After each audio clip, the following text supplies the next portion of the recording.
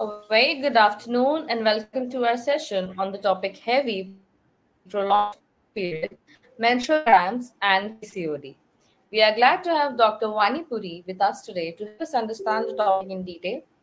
Also, if you have any doubts, inquiries related to this topic, you can ask the doctor via comment section or you can uh, drop your doubts in the comment section so we can take it later. But for all the details and important information, stay tuned till the last of the session and the doctor will be taking your questions at the last. So stay tuned. And now I share the student doctor. Have all. Yeah. Uh, a very good morning and uh, a very happy uh, Navratras, uh, the divine Navratras to everyone, and happy Durgashtami from my side to everyone. So, today we are going to talk on a very, very important topic that is polycystic ovarian syndrome, which is also called as polycystic ovarian disease. So, a lot of people they ask, what is the difference in between the two? So, there is actually no difference between the two. It is a syndrome. Syndrome means it is a constellation or a group of many symptoms in one person, in one patient in one individual. So polycystic ovarian syndrome, it presents differently in different people, different patients. So let's see how it presents. So I'm sure that everybody of you, each one of you have seen a girl or a lady uh, who is uh, very fat and very struggling to reduce her weight and she's uh, she's always a failure to reduce her weight. Lot of facial hairs are there acne is there. She is facing a lot of irregularities in the menstruation. She is married but struggling to conceive.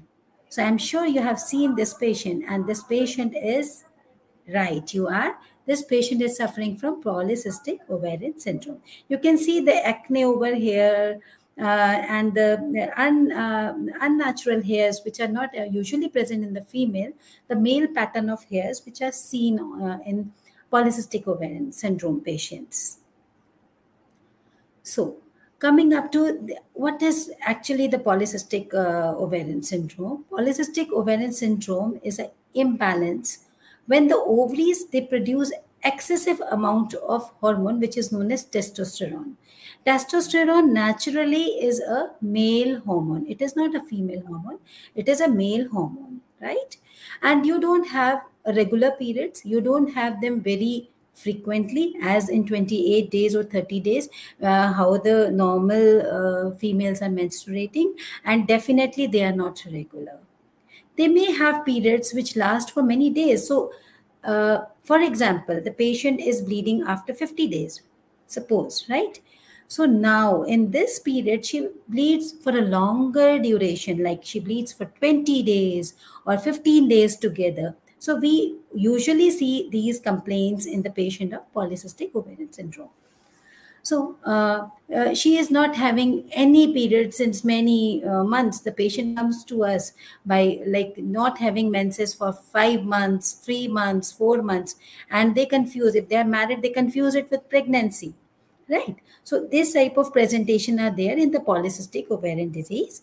And you may have increased testosterone hormone in the blood and its features, like I have shown you the previous slide, that the patient is having unnatural hairs on the cheeks, on the chin, on the back, you know, and the acne, lot of acne are there in the back of the patient on the uh, chest of the patient on the face of the patient. The skin is so oily. So all these are the symptoms of increased testosterone in the blood which is seen in the polycystic ovarian syndrome patient. So there are the typical thing is you can see on the ultrasound you can see these these small small follicles which are arranged in the periphery of the ovary right they are arranged on the periphery, like uh, on the outskirts, on the outer edges of the ovary. So these are the follicles which are not mature. The problem is, I will tell you in the next slide, the problem is there is an ovulation. That means there is no ovulation in the patient of PCOS. They fail to ovulate. They fail to make eggs from their ovaries. And uh, against that, the normal woman, uh, she make egg from either ovary she release a egg uh, one egg on each menstruation. Okay, so these are the problems with the PCOS patients.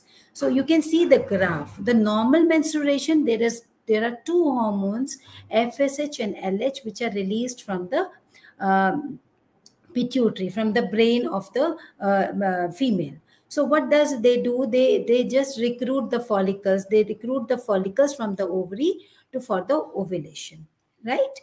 So this is the normal, uh, you know, uh, rise in the FSH and LH in the normal patient. But in case of PCOS, this rise in FSH and LH does not occur.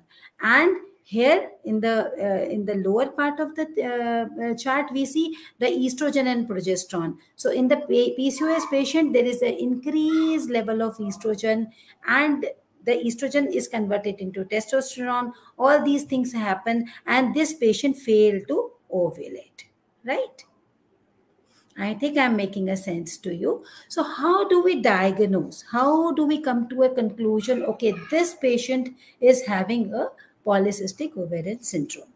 So, first of all, the patients come to us with an irregular period or absence of periods. They don't have periods or they have periods which are irregular, which are uh, uh, spaced uh, uh, to a longer, longer duration, like two months, three months, like that. And they don't know how, when they are going to, you know, uh, menstruate. And they are having few menstrual cycles in a year so if the patient is having less than nine cycles, the patient is known as oligomenorrhea, means having less menses. Oligo means it is scanty, having less menses during the whole year. So whole year in 12 months, the patient is menstruating less than nine months, right? Uh, and they are having, they are not regular. This is the most common sign seen in the PCOS patients. Now, the second thing is that the hormones are raised. The androgen. The androgen which is the basically male hormone which is not a female hormone which is raised in the pcos patient. Either you can see in the lab test they are raised or you can see the features. As i have told you the features are facial hairs increase in the body hairs lot of acne over the face over the back and the chest and etc etc and the having the face uh, facial hairs is known as hirsutism. Having a male pattern of hair is known as hirsutism. This thing and on ultrasound scan when the patient goes for a scan she is diagnosed with a polycystic ovarian uh, uh, ovaries. That means the ovaries are having small, small follicles, 2 to 9 millimeters of small, small follicles, which are more than 20. Okay, so these are the three uh, uh, criterias and out of these three criterias a woman who is more than 19 years means who is an adult woman should have 2 by 3 that means two symptoms two of these criteria should be there from these three criterias but in case of adolescents which are you know which are adolescent girls that are uh, before 19 years we have to have all the three uh, features to label them as polycystic ovarian syndrome right? So we have seen that it is a hormonal imbalance everybody knows nowadays everybody is studying about this syndrome and produce excessive of uh, testosterone that is a male hormone again they may not have period often or regular, right? And uh, these are the things. So, so what is the cause? What is the cause? Why there is pcos why there is pcos in one patient and another patient is not suffering from pcos so the likely theoretical causes nobody know, knows the exact cause what is the exact cause. But yes there are theories which uh, you know explain how the pcos is there. So there is a low low grade inflammation. There's an inflammation in the body. We know that the people who are obese they have a lot of inflammation in their bodies. All the inflammatory markers are raised in these patients. So there is if there is a long term inflammation this can lead to a polycystic ovarian disease. Also there are hereditary hereditary causes. Means that if the mother is having if the grandmother is having the the granddaughter or the daughter will also have these symptoms. So they run in the families also the insulin resistance. Insulin resistance means there is lot of insulin in the body but it is not acting. The body is not able to use the insulin. So this is the insulin resistance is also a cause. Excess of male hormones also is a cause. It is also a theory. And um, exact cause as i told is not at all uh, till now. It is uh, uh, you know um, one cause is not known. Okay so now we coming to the complications. Well, what complications a pcos patient can find? Or where she can be you know uh, uh, get entangled into the spider web. So she can have a difficult time to get pregnant. As i as i've shown this that she is having a difficult time to get pregnant. These pcos patient because they are not going to ovulate. They are not making eggs so they have difficult time to ovulate they have to take a help of a medical professional to uh, get pregnant okay now they can have the spontaneous abortions as well. So the patient, she is get, getting pregnant, she can have a spontaneous abortion, spontaneous miscarriage within three months, right? This is also because of the imbalance of the hormones. She can have preterm births, okay? She can have a total metabolic syndrome. What is metabolic syndrome? Metabolic syndrome is that the patient is obese, especially the obesity is around the tummy. Okay? Especially the uh, it is around the tummy around the stomach. Lot of fat is there right? She can have hypertension she can have raised blood pressure she can have insulin resistance. We already have uh, talked about this. She can have high levels of lipids in her body in her blood. So what happens is when these lipids are raised, they get accumulated in uh, different different parts of the body and different parts, different uh, vessels of the body as well okay? And uh, they can have increased ldl levels as well. So as i have shown in this picture there's a dyspigmentation depigmentation of the neckline. Okay? So there is a black black depigmentation which is known as acanthosis nigricans this is also found in the PCOS patients. You have seen many patients like that. And it is also a symptom of metabolic syndrome, as I have told you. Syndrome is, it is a constellation of many, many, many things, signs and symptoms, right? So here you can see a patient who is snoring. So these patients can have obstruct obstructive sleep apnea syndrome. So what is it? That when the patient is sleeping in the night, because of the obesity the the respiratory tracts become obstructed and this patient is not able to sleep properly because of the hypoxia. The oxygen is not going through the lungs because of the obstruction. So they are not having a good sleep and that is why they have sleepiness in the uh, morning hours so here they can be, uh, we have seen that these patients are usually obese. These uh, we have talked about the increased lipids, so they can also, uh, you know, uh, get uh, uh, get deposited in the liver. Okay, so these patients can have diabetes, diabetes during pregnancy, type 1 diabetes. Type 1 diabetes is a diabetes which is seen from the childhood when the when like the age of 10, 11 okay so this is uh, type 1 diabetes type 2 diabetes is at the uh, at the later age they get it. Okay so that is to a type 2 diabetes. All these diabetes are found in this pcos patients okay?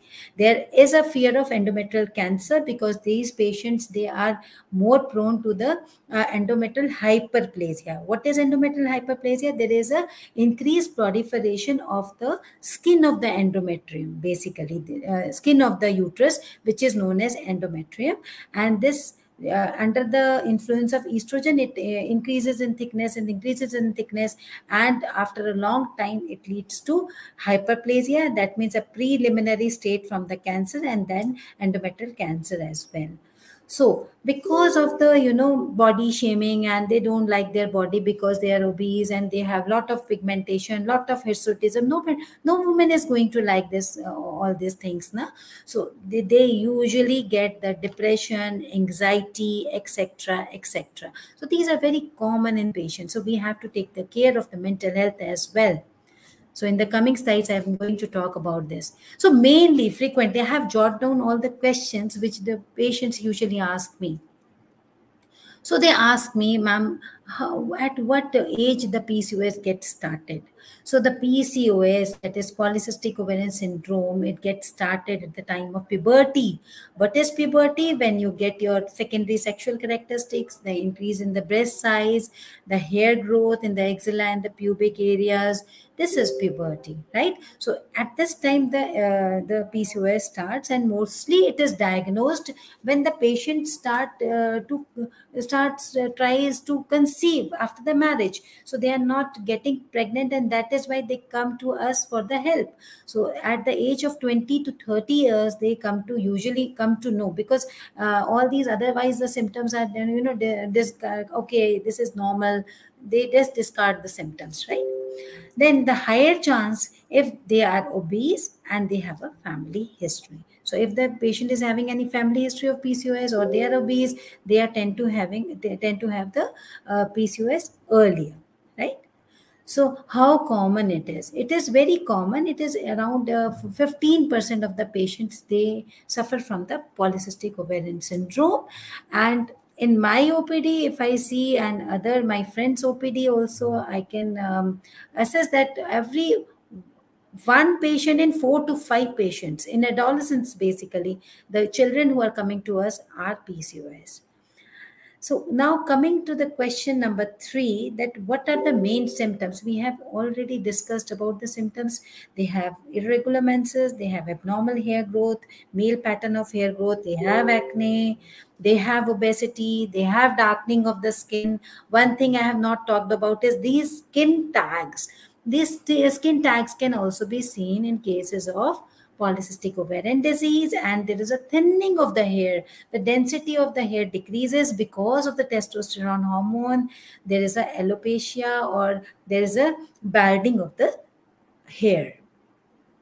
And definitely the patients who are married they also find hard time to conceive and they are uh, they face infertility issues so the next question is can I have PCOS without any symptoms? That I don't have PCOS, uh, I don't have any symptoms, still I can have PCOS. Oh yes, it can. You can have uh, PCOS without any symptoms. Some symptoms are unnoticed.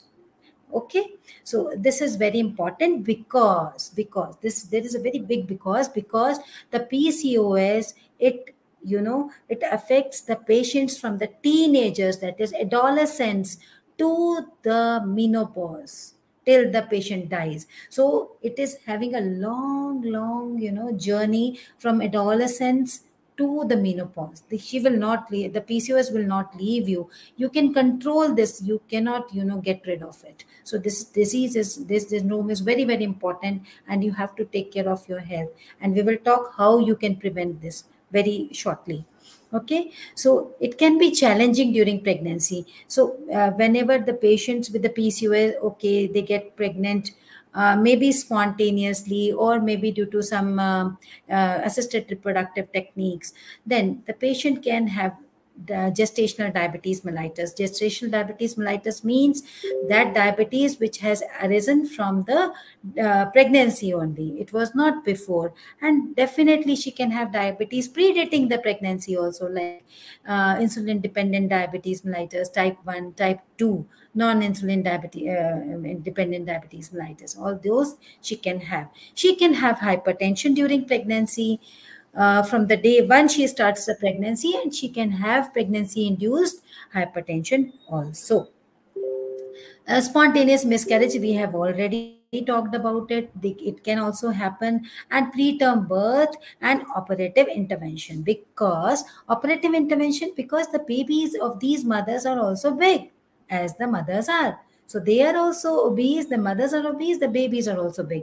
So most of the time they they face a lot of injury issues also shoulder dystocia and forceps delivery and then cesarean section and everything like that so now coming to the diagnosis, how do you diagnose? How do how a doctor, how a healthcare professional diagnose that you are case of PCOS? We have already talked about the three symptoms. Now let, let's let us look how the doctors are going to look at you. So your healthcare provider will take your full history. What is your history? What are your symptoms? Are you facing acne? Are you having hirsutism like uh, hairs on the uh, chin or uh, cheek line or back or you are having some um, like um, you're having problems to uh, get pregnant? All these history can be taken by your doctors and then the family history is also taken. We have talked about if the family is having pcos you have more chances to get PCOS. Your weight and BP should be uh, will be monitored. Your physical examination will be done. You know uh, your physical examination as per the hair growth, the density of hair, any alopecia, any skin tag, any acanthosis nigricans, any depigmentation, dark pigmentation over your neck or the breast creases or the thigh creases. Here, the acanthosis nigricans is seen more. So your doctor will see all these things and the pelvic examination. If you're not getting pregnant, you're hard, you're having a hard time to get pregnant, and the blood investigations finally because we know that the uh, male hormone is increased and other investigations are also done by your doctor and then the pelvic ultrasound. I'm sorry for this spelling mistake. It is pelvic ultrasound, right? And now coming to the management which is very very important. So so first is the lifestyle modification. What i teach to my patient is lifestyle modification is patient patient guided patient controlled. The control is in the hands of patient so if you modify your lifestyle, there are other uh, uh, factors also in the pathology of PCOS that nowadays we are not working physically, we are working more mentally, we are not working as like physically more. In the olden days the the uh, people and the you know women were working more physically. They were doing all household works you know all the villages and all. We know still there are villages. So that is why this this um, pcos is less in the villages because they are working more of the physical work so we are not going to the physical work nowadays. We are doing more mental work. That is also a part that, that we are having PCOS. So it is it is recommended that you should exercise, moderate exercise. Uh, you can have different different sort of exercises. That one day you can do yoga, other day you can do aerobics, other than you can do pilates, other than you you can have walk. All these things you can do. You can just change the type of the exercise also now, coming to the main thing, the the diet. The diet is very important and is responsible for treating or managing or controlling the pcos more than uh, more than uh, you know 80% so other thing is uh, meditation. Meditation is also very important because it because we have seen the pcos is having a lot of stress lot of anxiety issues and they are taken care with the meditation so your doctor can uh, tell you to get uh, insulin sensitizers, the hormone treatment, the medications to block the effect of androgens because we know that the patients with the PCOS they have lot of lot of testosterone, the male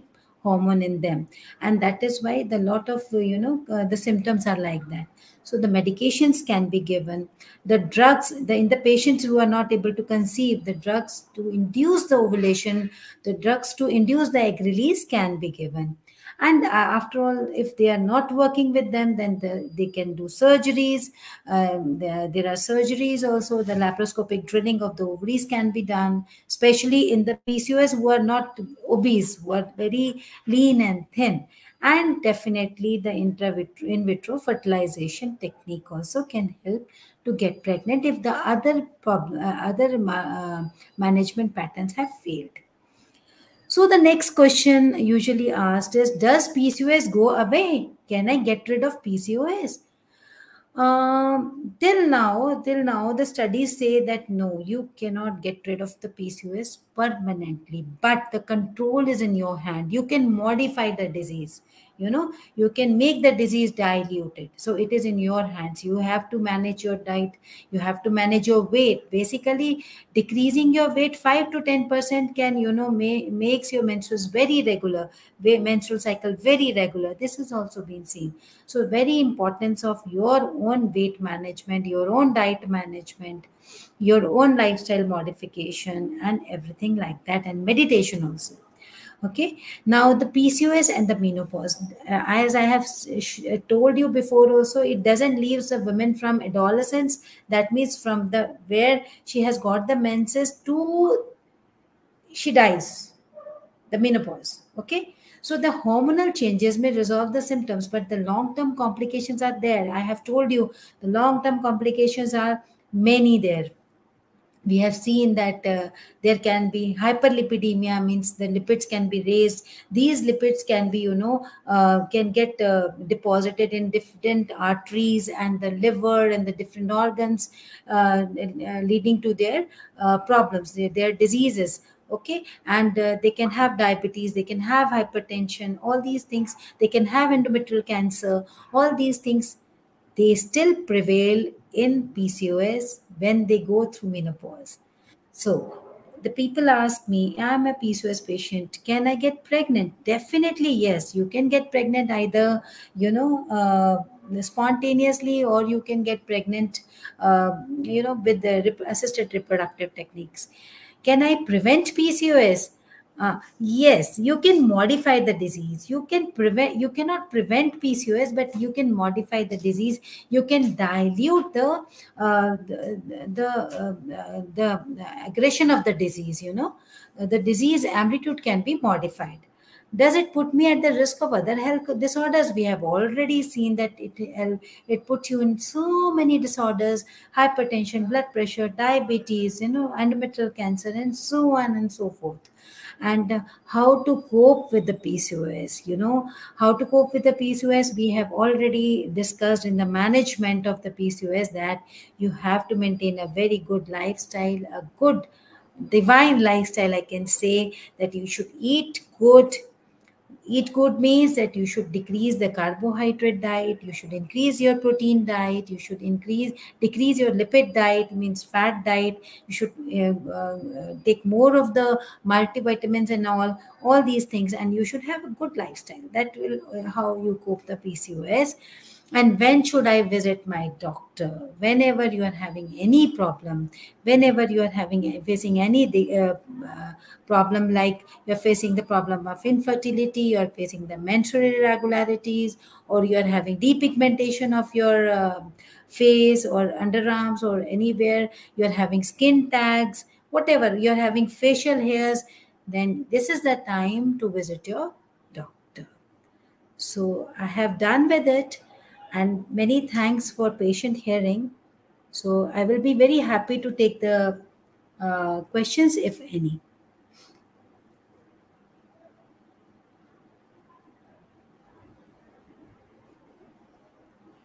Any questions, please?